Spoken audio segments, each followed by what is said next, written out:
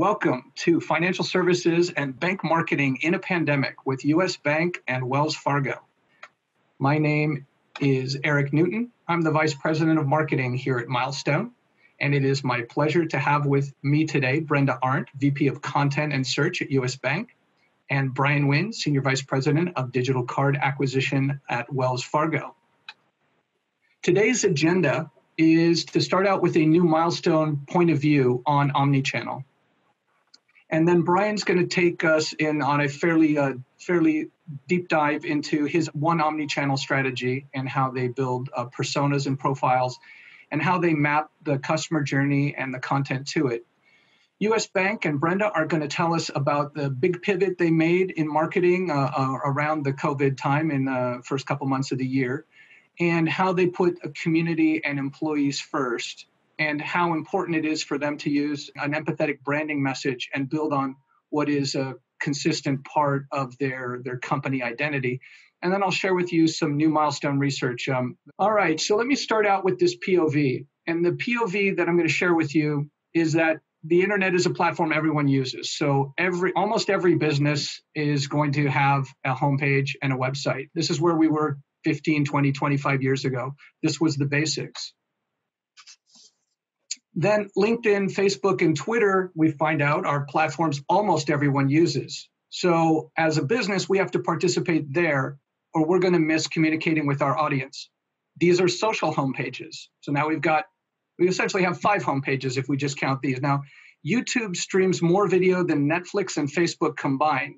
So you got to be there also. You need a video presence. So things like this webinar have to be repurposed and shared in that channel because a lot of people, particularly uh, the younger generations, are more inclined to consume video content than uh, traditional text and images.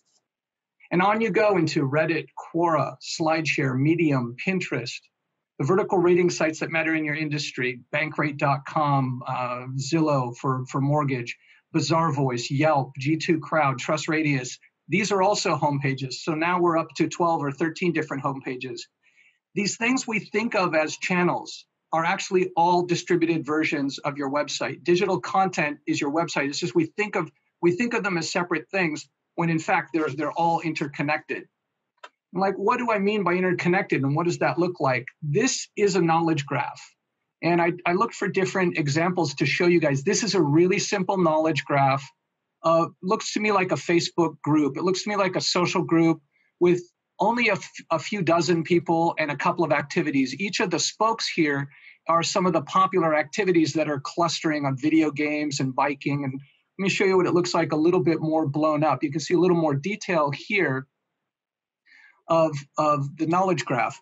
Now, Google indexes all of the content that's visible on the internet and puts it into its knowledge base, which is a giant, it's like, it's something with like 3 billion of these graphs within it 3 billion facts the little the little points the needle points. And google's involved in 80% of customer journeys. So what does google put in the, the knowledge base? Well uh, let me use a technical term and then i'll explain it. Entities scored by authority. So what's an entity? It's a person place or thing that's given meaning and context by facts and links. This is the original premise of Google from 25 years ago, and 20, 25 years ago when they started the company about popularity and context. So then, if Google is collecting all this information and so many of the journeys go through there, then Google is the homepage of all your homepages. And this is the publicly available US bank uh, SERPs. And this is, and Wells Fargo has really strong SERPs too, but let me use this one as an example of something that is truly dominant. Um, we've got the knowledge panel, we've got paid, we've got site links, we've got the local three pack. That is the top half of the fold, and you can barely get to the first branch. They've got a huge Twitter carousel. They've got Facebook, and they've got they've got this is hard to control. These are people also ask questions that Google controls. And then you go to the second page. They've got YouTube. They've got Twitter again. They've got there's a Wikipedia entry. And then they've got their mobile site, they've got their mobile distribution on the Google app and the Apple Store. This is an incredibly dominant uh, saturation of the SERPs. This is what we recommend all customers try to do. This is why we do content marketing. because 80, 65% of the journeys start here in the SERPs. 80 plus percent of the journeys have some some uh, throughput through these things. Saturating the SERPs is the goal of digital marketing, and doing that is thinking about all of these homepages we have to manage together. This is why we care about omni-channel marketing. So, how do you do what US Bank did? Now, US Bank's been, you know, investing heavily in digital marketing for what most of 20 years. Brenda, is that about right? Since since the really the beginning of right. the, the commercial internet. So, how do we help Google? How do you do that? Well, you define the entities, you be authoritative, and you be popular. So, helping Google understand your facts makes it more likely that they'll show your content. Schemas identify and define the entities and the facts uh, Google uses to answer questions from its users. If you think about search, every single search is a question. Every search result is an answer. That's why they call them queries. People are looking, they have a question in their mind, they either type it in a question format or not. But being able to answer questions requires you to the entities to be clear, for you to be a trusted and authoritative source, and for you to be popular and well distributed. This is why there's a lot of demand for people who do what we all do in digital marketing. All right. So your digital content is what represents your entities. We make digital things like I'm talking about milestone research. That's milestone research is an entity that I'm using to represent milestone as a company, that entity, and that content, and I'm distributing it and repurposing it in multiple forms. That's how I'm helping Google understand the facts that are important to me, uh, you know, on the research, which I'll, I'll show you guys after Brenda speaks. So, what does omni-channel distribution look like to us? Well, you've got core content like a webinar or a video or an interview or an event. You capture some content or a really good blog or a really good white paper. But you have to be really conscious that you built that asset for the channel, the first channel you launched it into. And it won't work if you just relaunch the same format into a different channel. You got to repurpose it. Maybe it needs to be shorter. Maybe it needs to be pictographic. Maybe it needs to be all of these things. You have to, if you're not sensitive and uh, in touch with the channels where you're redistributing this content, these other homepages, you're not formatting for that audience, it won't be well received. And you'll just be doing flat amplification. You have to be doing the adjustment and the amplification for effective omni-channel. And Brian's going to touch a little bit on that in his section. So that's a that's a prelude and a POV. Uh, at Milestone, we help you organize and amplify your digital information to reach the right audience. We do that with a collection of Martech software on the left, six seven products that that help you get this job done, and omni-channel services on the right, which are traditional digital agency services where depending on how big or small your team is, we add as much service as you need to get the job done. And with that, I'm going to hand over to Brian Wynn. Thanks, Eric. And I can't echo enough the importance of the components that he talked about with um, ensuring that you've got uh, like the right message spread across the, the, the different platforms to ensure you've got a unique and consistent customer experience across the digital ecosystem. Um, and so, uh, you know, as we dive deeply or, further a little bit into specifically how we at Wells Fargo think about digital marketing and delivering exceptional omni-channel campaigns, um, spoiler alert, it starts and ends for us with the customer, um, as it should for everyone else. Um, and so on the next slide, I've got um, a bit of a, a content uh, heavy slide here. So I won't read through all of the specific uh, dimensions or components of how we think about um, ensuring that our marketing strategy is connected. Um, but again, focused with, on the customer, these six components of how we define what it, what it is that we're doing, why we're doing it, how will we do it, and the outcome that we expect.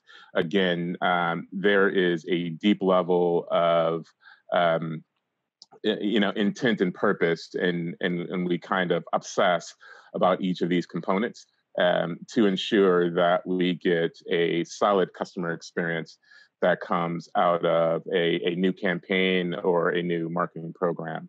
Um, but I, I, will say that um, within each component, we t- always take and tie back to uh, the customer, how we will stand out against our competitors, um, and how we will uh, specifically, though, meet the needs and the wants of our customers in, um, in an authentic and humanistic way. And so the next slide is, um, uh, you know, focusing on our targeted audience. You know, we design um, our target uh, audience um, with a unique perspective of looking at offer differentiation and how will we be relevant from a message perspective and ensuring that we are effective and efficient in reaching consumers in their channel preference. Um, we can design the best product in the world, the best message in the world, um, but looking at that first chevron, evaluating the scale. And so we do deep analysis on what is the population, what's the demographic of the population, um, what are their financial services, their wants and needs, and can we profitably meet them? Um, and if so, then how do we further define that in terms of uh, their behavioral and psychographic behaviors? And so we layer on, if you will. So some might assert that demographics are dead, but um, they aren't. They essentially kind of give you an outline of your target. And then for a financial services company, it's incredibly important that we identify that first. And, but then um, ensure that we layer on their their psychographic needs, um, and then are they do they have attributes that we are we can easily kind of parse out and say, yeah, we can target these um, and we can evolve these over time to consistently be relevant and meaningful to our customers and identifying wants and needs uh, it's uh, while it appears as though that's kind of a linear step i think that's an ongoing step because consumers they go across um, whether they have an interest in a rewards card or cashback card or maybe they have an interest in a low rate or a balance transfer card and so different financial needs at different uh, points uh, in, in, their lives and so there's a, a consistent check back in um, leveraging digital insights um, whether they be insights that we have on consumers from you know on us data or even third party data. So we consistently track back to ensure that um, we understand the interest profiles and and we tie the deep insights into segment behaviors and so that we can accurately target um, and then we, ensure that our brand is a fit for the customer wants and needs. We don't want to be disingenuous uh, because that will just lead to not meeting or delivering on the strategy that we defined and and, and we won't get the business results that we intended. So brand fit is uh, extremely important in terms of segmentation and how we think about ensuring that the offers that we have and the messaging is the, the right tone is on kind of target for the audience that we're intending to reach. Uh, and over time, we continuously re- redefine, refine attributes just to ensure that, again, that over the, the you know the li- the consumer's life cycle, that we are incredibly relevant to them. Um, and so this slide, this is an example of this is where we, I would say, we uh, maybe overly obsess on uh, the consumer personas. And so as we break out the segments into different uh, audiences and, and as we think about products and value propositions and offers for consumers and rewards, this is just one example of a persona of a consumer that we've identified that meets more of a uh, a travel points enthusiast.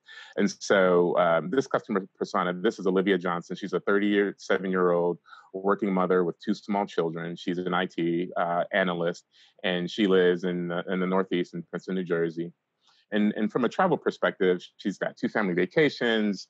Uh, you know, there's four or you know several work-related trips, and so there's an opportunity for her to earn loyalty. Uh, you know, either at hotel stays or airline stays, and she's got the occasional friends weekend trip as well. And so, as we think about her needs from a product perspective, we take her her profile into super deep consideration.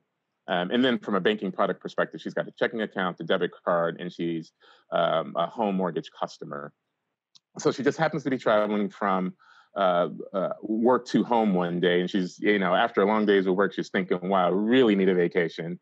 Um, you know, and and she's hoping to get one planned in the midst of her busy life between, you know, demanding job and demanding home life and uh, you know a, a, trip to the caribbean would be amazing for her just a, a, little bit of a getaway and she's thinking about ways to uh, you know fund that vacation. And one thing that she's aware of, kind of high level, is that there are rewards cards out there that could enable uh, that travel experience. And so she goes to the Points Guys website. So essentially, um, and if you go to the, the next slide, Gaurav, you'll see that the the consumer learning journey, as Eric was alluding to, starts in third-party digital. So, you know, it is in, in incredibly important that we show up and we are relevant in the channels where customers start their shopping journey, where they start to compare and contrast um, us as a card issuer to the competitive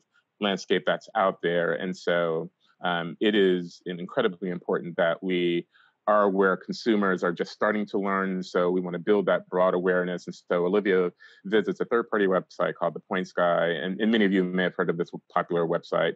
Um, it's where there's lots of content about how to best travel, uh, cards that enable th- that travel, and the value propositions, and how to get the most value out of those cards. And so she stumbles upon our product that's out there, the uh, Wells Fargo Propel card, uh, which she finds very interesting. So she clicks through to get to our landing page to consume more information. Um, but as she's uh, getting to her stop, she kind of stops her learning journey at that point. Um, but she remembers she's she's got Wells Fargo Propel card in her brain, um, and so later on she actually comes to our website remembering that oh yeah there was an offer that was or there's a product that was out there that's interesting to me. Um, and so on the next slide you'll see how we tie her third party kind of learning experience in that we know that she arrived on our landing page and so we work to ensure that we are connecting all digital touch points leveraging uh, available martech and the latest and greatest kind of digital analytics tools.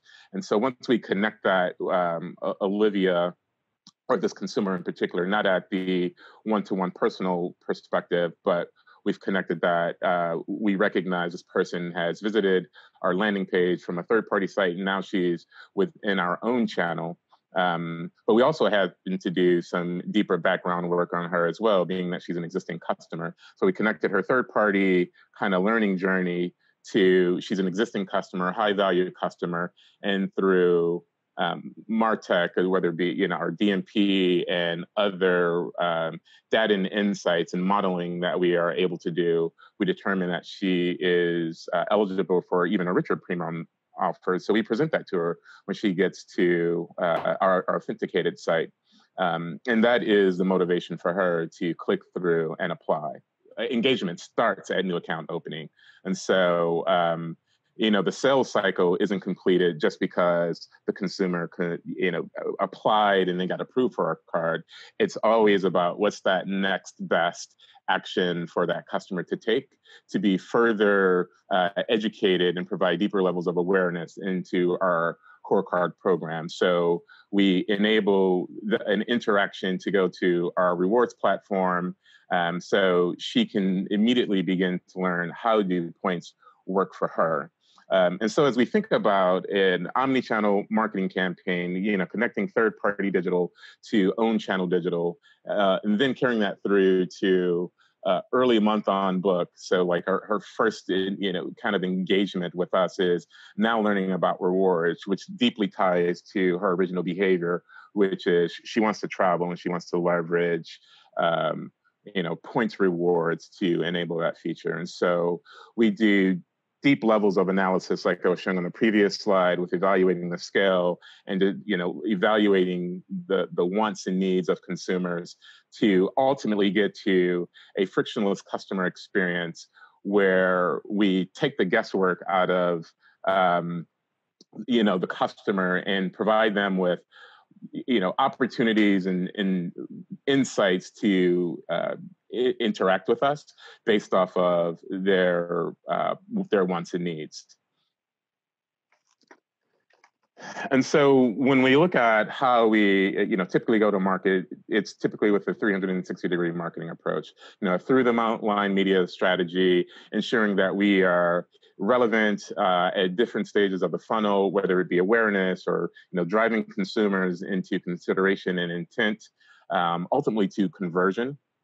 um, is our, our our overall goal and then i just got to have an examples of media platforms that we would typically leverage depending on our overall campaign goals um, so so some of the channels it's not all of we we know we don't drive like direct accounts in some of the channels um, you know paid social is a good example or even programmatic display and addressable TV, but those are channels that are meant to to ensure that we we interject ourselves along the way of the consumer journey, so that um, consumers aren't just informed of our products, and so by the time they are ready to apply for a card, they have that oh yeah, there's a product that I saw that's out there from Wells Fargo, and whether they come to our website or whether they go to uh, a, a paid search engine.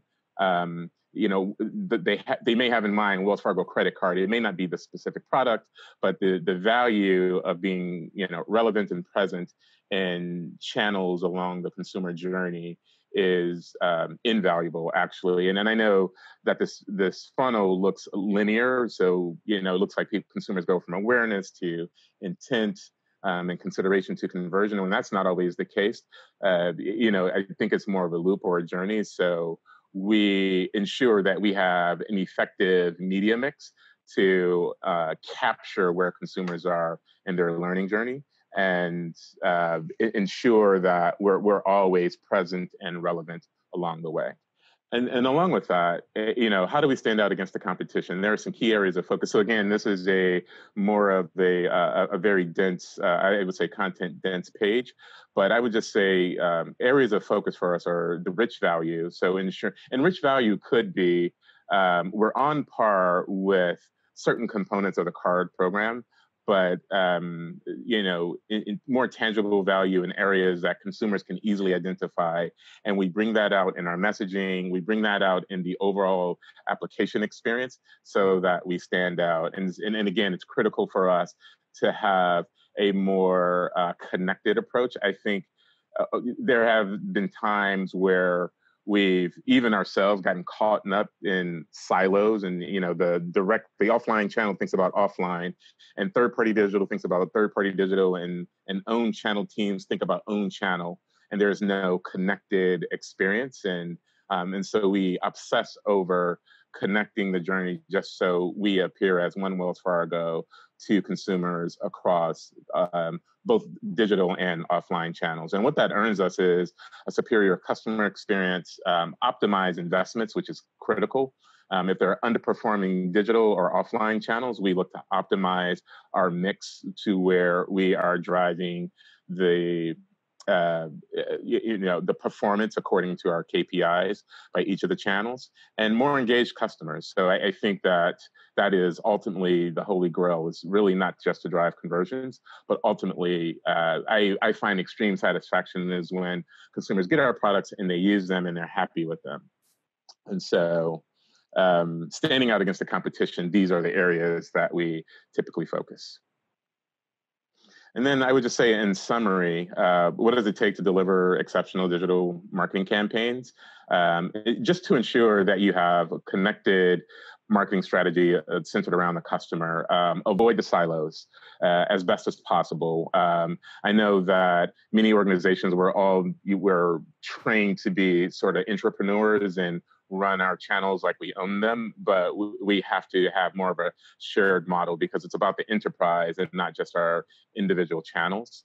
Um, and ensure that um, as you build your, your segments leveraging demographic and psychographic profile data, that um, you've got, you're ensuring that your brand is the right fit for the target audience and you've got appropriate scales so you um, meet the expected business goals and standing out against the competition. Um, we uh, again obsess over that because we know we have not only in industry competition but the outside of our vertical uh, consumer experience expectations have been set, and so we know we have to have frictionless digital experiences. Um, and the superior experience is actually table stakes. It's not something that we think about as an afterthought.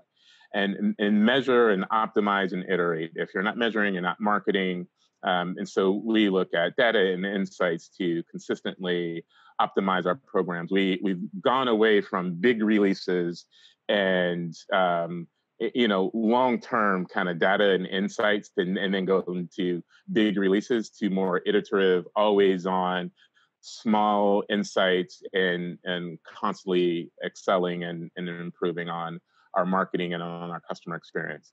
And what you could expect to do that if you're good and you're lucky is um, you know more customers and, and and more customers who turn into your brand ambassadors. Thanks, Brian. That was awesome. Next up is Brenda with marketing thoughtfully and effectively in a pandemic. Thanks, Eric. Yeah, um, really, I'm going to switch a, a, little bit in what we're talking about here. Uh, it is an omni-channel approach that we did take when we when COVID became um, uh, an issue here in the U.S. Um, the bank did set up a command center, cross-functional command center, uh, where it was all of the disciplines throughout the bank. Um, some top leaders uh, ended up coming together and really forming a team that then all communication and all, um, you know, advertising and everything else, PR, all went through the command center so that we had one um, source of truth uh, throughout the whole company. Uh, of course, in March, I think a lot of companies, as well as ours, moved as many employees as possible to work from home status. Um, and really, the company had a large emphasis on employee care. So it was all about, you know, how do we care for our clients, but also how do we care for our employees.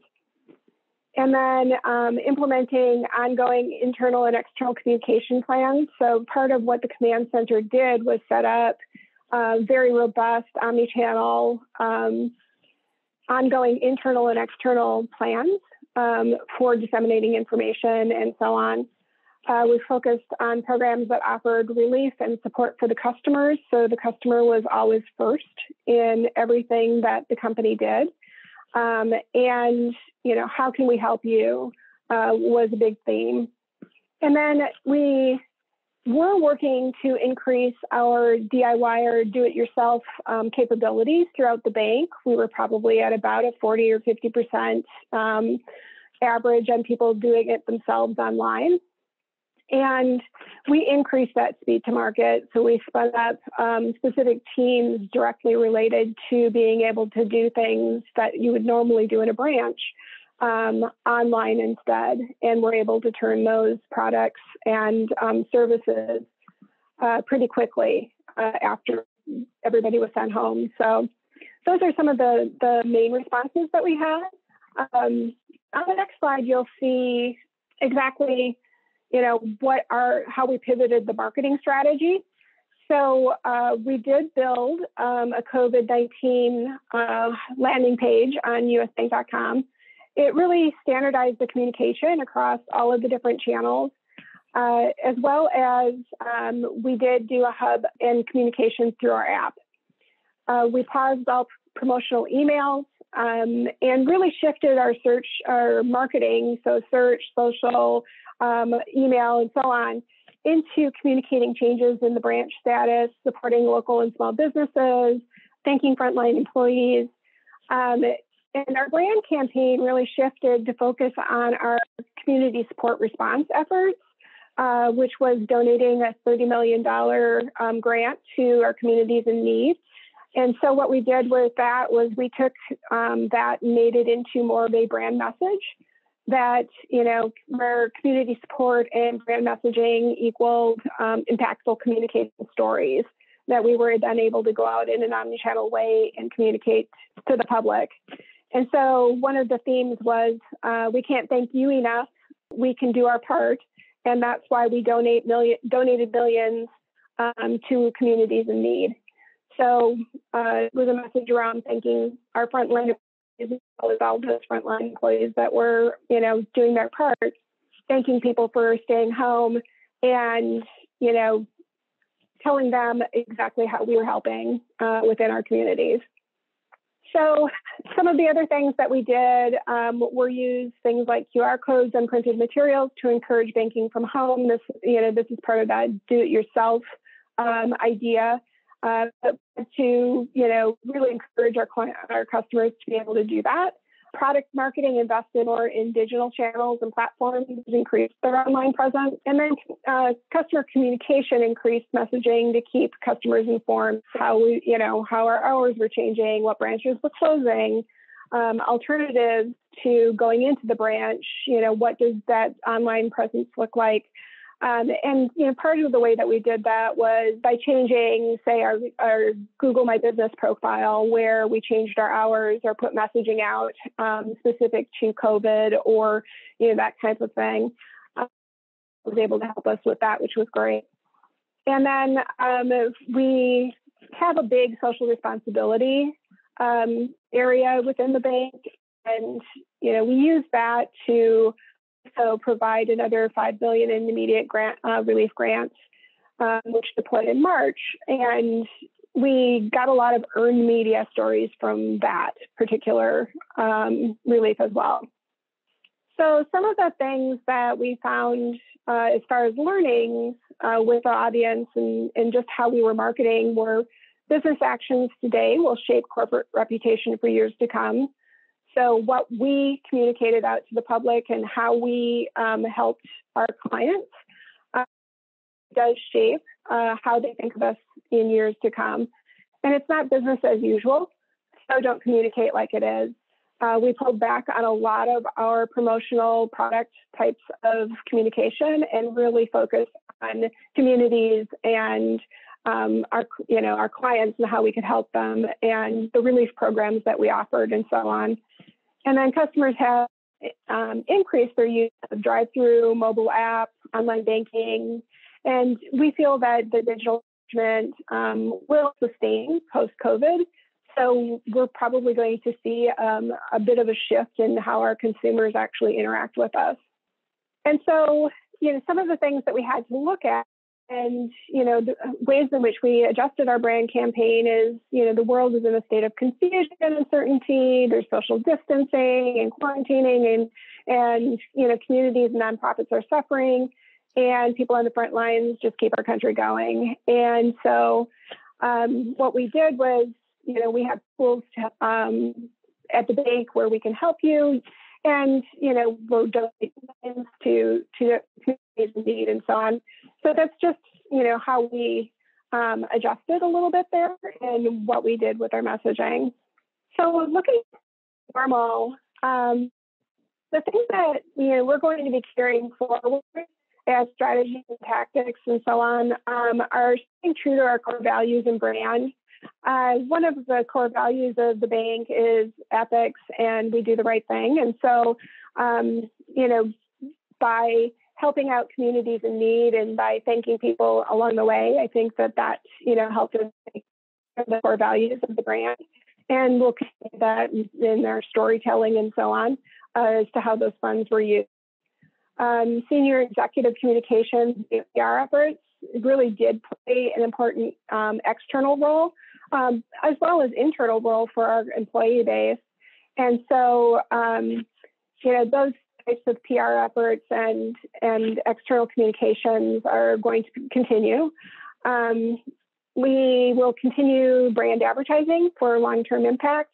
Uh, we have started some um, product advertising, but we really haven't gone heavy duty into it at this point, just because we feel that um, it's more impactful to, you know, stay with this type of messaging uh, for the for the short term at least right now, and just increase our market that brand message.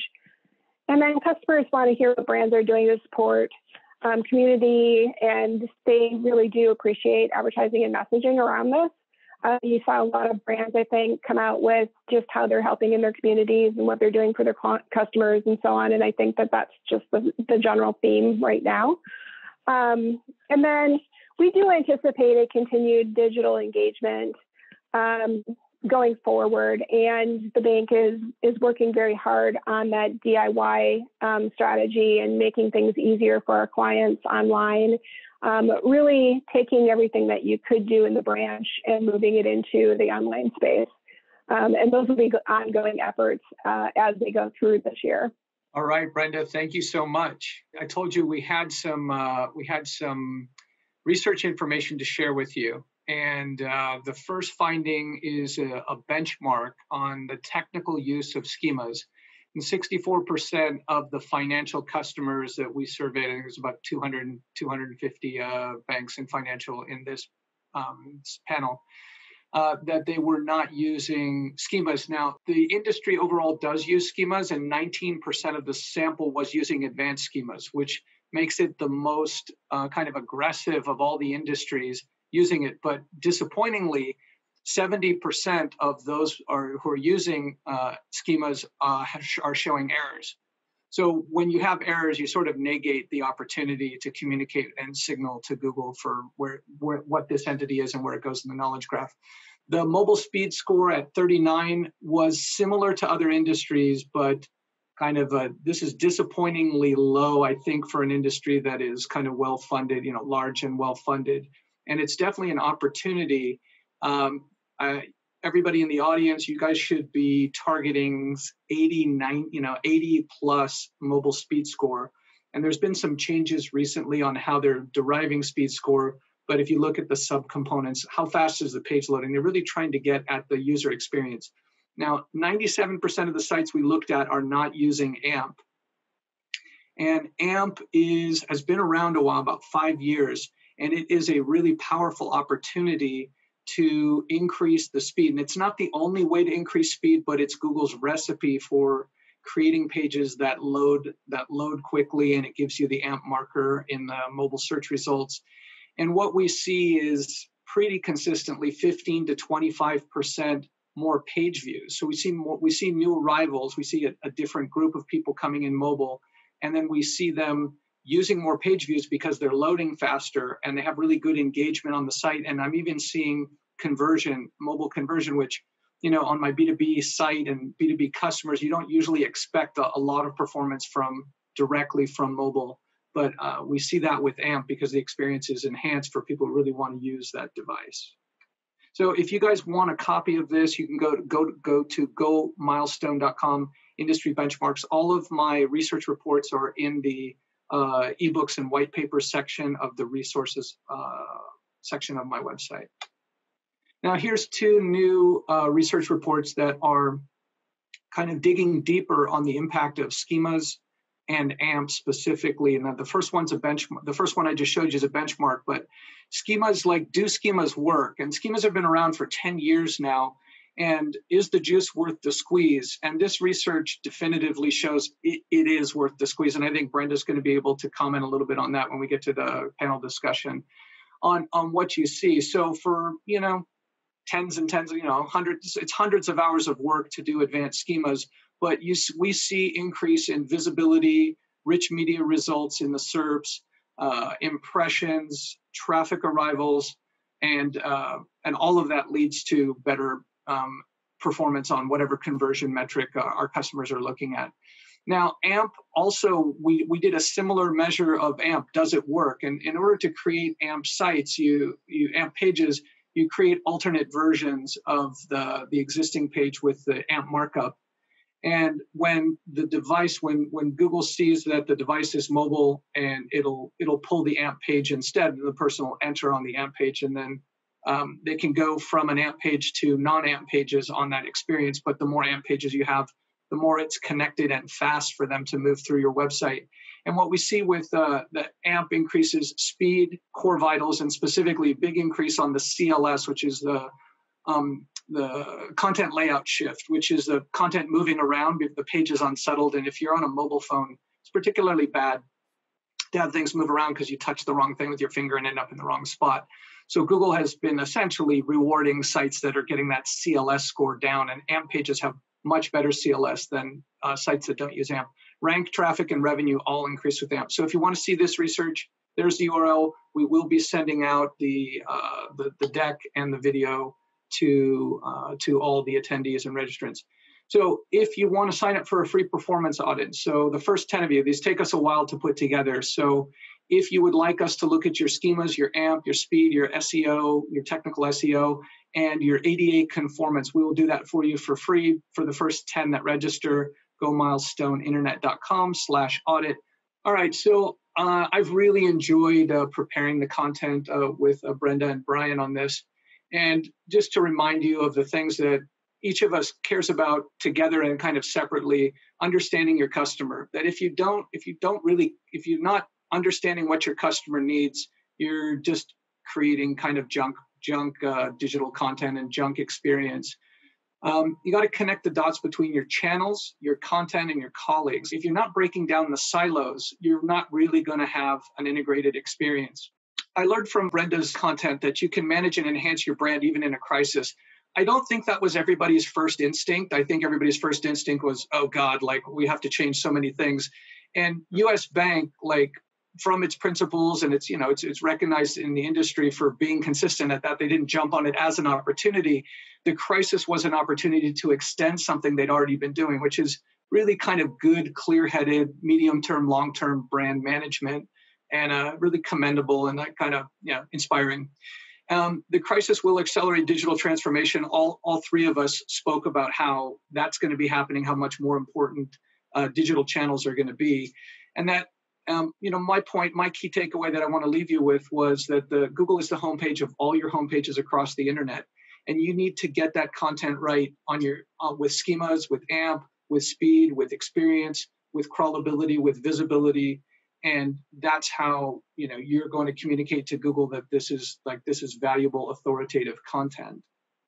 So that is it for our prepared material. We can take questions now if you have come in already. So Brenda, um, how have you used schemas and to what result for US Bank? We use Milestone to provide our schemas and made it so that they just are applied to the different pages um, through a tagging system. Uh, and we've seen about a 30% increase in rich um, media uh, results based on the fact that um, engaged, you know, milestone in helping us with that schema project. Awesome. Uh, a question from Harmit. Did uh, both Wells Fargo and US Bank have any other way of implementing schema before before the projects you're talking about now? Did you did you have a did you have a prior implementation? did you start with the one you mentioned, Brenda? We did it on hand. So it was within the CMS. And it just wasn't scalable. Right. I would say for us, I have to confirm how. I'm not sure if it's by hand or if we have a tool in place. So, um, Eric, I'll, I'll just let you know. Maybe you could just inform the audience of how we manage. Yeah, things. sure. We'll, we'll follow up later with uh, with what what's been tried so far. Sure. All right, a question from Megan. Hi, Brian. Great info. Could you talk about some tips on how your digital team prevents the siloing and any tools in your marketing stack you suggest for insights on conversion optimization? Sure. I'll start with conversion optimization. So we are, you know, big believers of um, GA, uh, Google Analytics Premium version. Um, it, and, and I think with uh, some of the recent enhancements in terms of BigQuery uh, from Google, so, so, so sort of Google Stack, uh, we're able to take in data from multiple channels and analyze interrelationship and then um, you know come up with insights into how we can further improve. Preventing silos is, is very difficult. I mean we spend a lot of time fighting against bureaucracy um, and so and i define that as there are competing entities in the organization that have different ideas um, uh, in, in, different ways that they, they want to accomplish things. And, and that just means as an organization, we're not connected. So we really spend a lot of time obsessing about goals and objectives, um, what are we doing? Why are we doing it? And how will we do it? And how will we measure it? Um, and so we get our, our organization aligned around overall goals and objectives first and foremost. And then we collaborate on how do we bring our channels together. And so we, we are literally forced to present um, holistic plans to senior leadership just to show that this is our, our kind of cross channel customer experience that we recommend.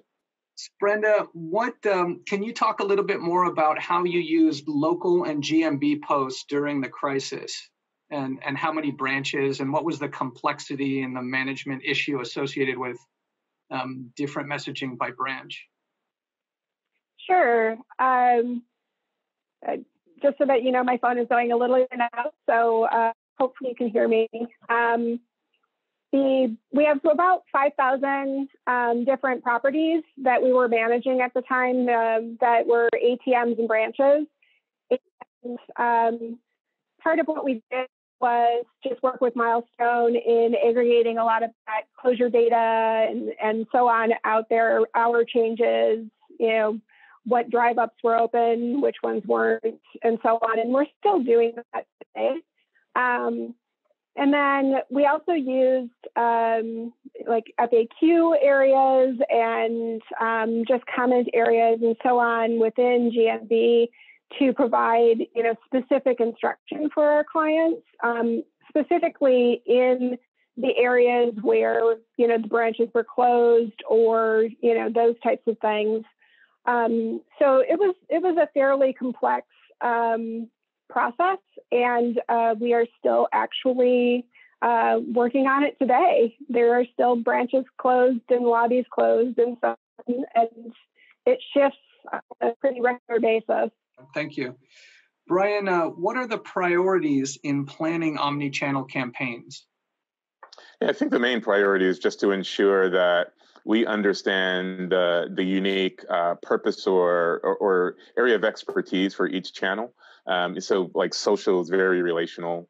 Um, and so you've got to come off like pure and authentic. And so, how do we leverage social to deliver our message differently, say, from programmatic display, um, and, and then differently from paid search, which is a catch-all channel. So, if somebody comes to search, they already have a certain level of information about your product, and so we think about um, search as more of a, a, conversion channel, and and how do we ensure that like our you know metadata is is right in terms of the SEO links and our ad copy is the right level of information to drive that click through. And so we, uh, you know, just have a deep understanding of each channel, each purpose of each channel, and how they um, interplay off of each other to be relevant in the appropriate part of the consumer journey to apply. Right. Thank you.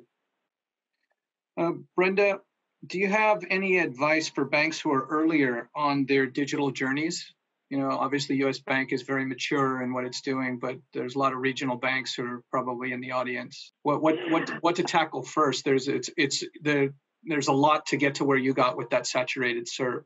Where I would probably start is uh, both a localized campaign. So you'd want to pick up your local search, um, you know, specific to your branches, specific to your locations, um, and then uh, make sure that your product really marked up well with schema. Mm-hmm. And, um, you know, make sure that you've got a kind of a Q&A type of um, situation happening to be picked up for those rich snippets and, and so on so that it can work in conjunction with your schema. Great, thank you. So a question just came in from Harmit what's next for Wells Fargo and US Bank after schema? So Brenda, we'll start with you. I think I know which one you, I think I know what you've got in mind, but uh, what's on the radar? There's a couple things. We're working a lot in voice. Uh, so we're working on um, putting together voice actions and, you know, uh, really pushing the voice side of the equation. We are also working on a proof of concept for AMP. So that's something that the bank is um, looking at, you know, but we really, before we go full force into it, we want to understand what the value there is. I would say similar. Same thing. We uh, we are working on mobile optimization, um, page load, so improving the content on how the, the, the pages are presented on on a, within our mobile experience, and, and then also evaluating AMP um, to see what value it delivers. Awesome. Um, Brian, what are the pitfalls of omni-channel marketing? What are the learnings? You've been you've been at this, I think, for almost a decade at Wells, right? Yeah, exactly. Uh, well, um, I've been at Wells for five years, and prior oh. to that, I was at Chase for 14 years. Yeah. Um, I, I, would just say, you know, pitfalls. Really going back to like the silo way of thinking, um, and and not connecting the customer experience in more of a journey way. Um, and, and, so thinking about offline channels and digital channels um, and how there needs to be a level of consistency in tone and and content, uh, but then also you know being flexible enough and, and you mentioned this earlier too eric being flexible enough to ensure that you appear appropriately in the channel so i can't think about um, you know online video the exact same way that i do um, you know, like a, a static ad on um, Facebook or Instagram. So I've got a design for the platform, for the medium. Uh, to be relevant and effective. And then I've got to have the right KPIs. I would say also ensure you've got the right KPIs across the journey. So um, one of the pitfalls that we try to uh, educate the organization against is looking at every channel in the same way in terms of conversions, cost per accounts. Some the, the CPAs are much higher because they're awareness channels. And so I think when you properly educate your organization on how they should be measuring um, each part of the consumer journey, um, you'll you'll be winning. Great, thanks, Brian. Uh, Brenda, do you have you have experience with uh, FAQ as a content type and with and combined with schema? Do you guys roll out FAQs? Yep, uh, we do have FAQs throughout um, all of our websites. That is marked up via schema. Um, and then we are also working on just those voice actions, which are written just slightly differently um, in a more conversational tone and um, being able to push those out to Google as well. Fantastic. Uh, any results you can share with us on FAQs?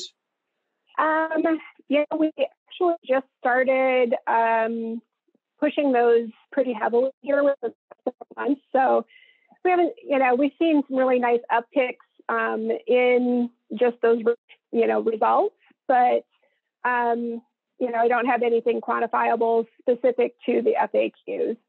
Okay, great. I want to thank you guys both so much for coming. This was a fantastic webinar. I really enjoyed. Uh, I really enjoyed the Q and A discussion and your content. I want to thank the audience for joining us here today, and uh, look forward to Uh, sharing this content and more content that we develop for the finance industries. Thanks so much.